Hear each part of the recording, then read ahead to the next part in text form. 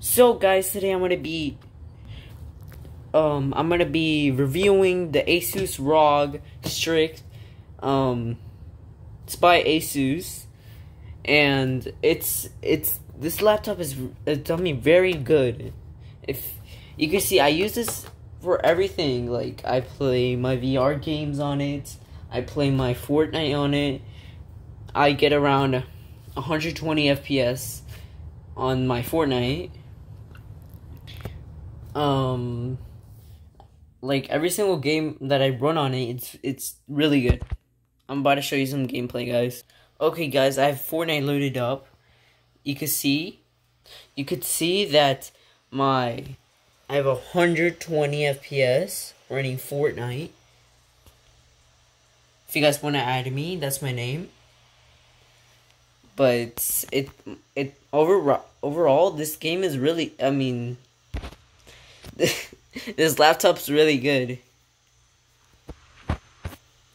It's a really good laptop.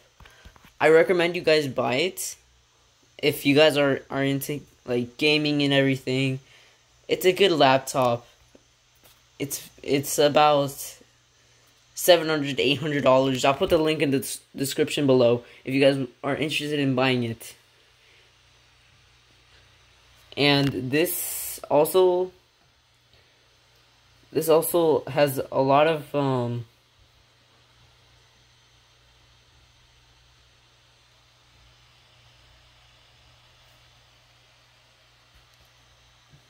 like it, it has a good graphics is really good graphics, 75 hertz.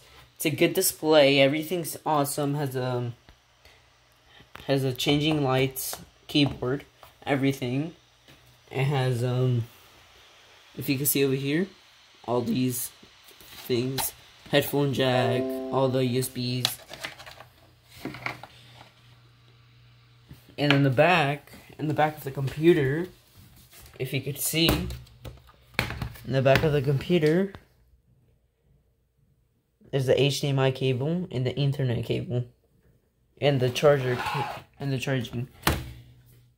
Overall, overall, this computer is a beast. If you guys want to buy it, link, link in the description below.